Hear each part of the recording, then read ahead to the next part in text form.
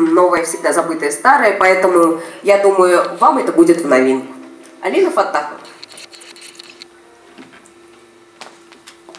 Ну, не обязательно, что забытое.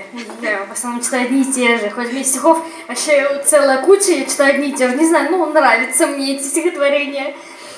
Ну, это двухлетней давности стихотворение. Сейчас прочту.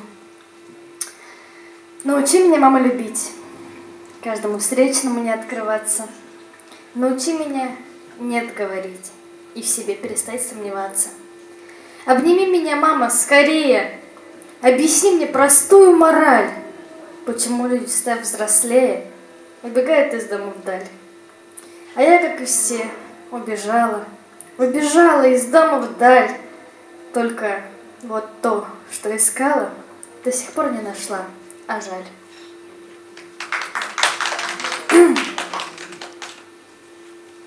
Ну, это стихотворение благодаря Вячеславу Сергеевичу родилось. Когда мы готовили мой сборник, я перепечатывала его рукописи. И я прям там вдохновилась и написала это стихотворение. А мне бы в космос, а мне бы к звездам, но слишком поздно, корабль взлетел. А мне бы косы, цветов бы особь, в глазах бы взрослых найти ответ. А мне бы домик и кошку рядом, чтобы рядом с морем забыть про все. А мне бы хватило объятий нежных, дыша затылок, но все как прежде. А мне бы снова писать о чувствах, творить искусство по вечерам. А мне бы в небо, а мне бы к звездам, чтобы сбылось все, чего ждала.